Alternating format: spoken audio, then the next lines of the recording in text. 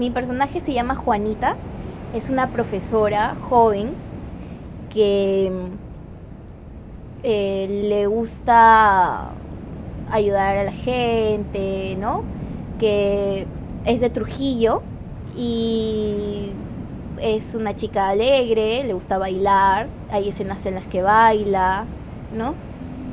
Y le gustan los niños sobre todo, ¿no? Juanita es especial. Tenía que meterme en una profesora que sea dulce, pero a la vez que los alumnos me respeten. También íbamos a las clases en un colegio, en un colegio de primaria.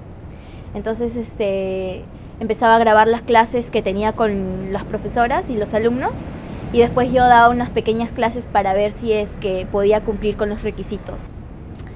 Cuando vi la película por primera vez, es totalmente diferente porque tú te ves, eso es, yo me veía otra persona, ¿no? Es, la, la voz es diferente, eh, tu, tu, aspecto, me gustó, ¿no? Y cuando fue la premiación, sobre todo, no sabes, o sea, el, el orgullo que sentí, imagínate cómo habrá sentido Omar. O sea, yo sabía, yo sentía que iba a ganar algún premio al menos, ¿no?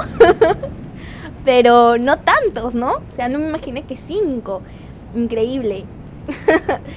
Quiero invitar a todos ustedes a que vean una linda película llamada Chicama, basada en una historia súper tierna, así que no se la pueden perder. Es el 19 de septiembre, se estrenará en Cinemark.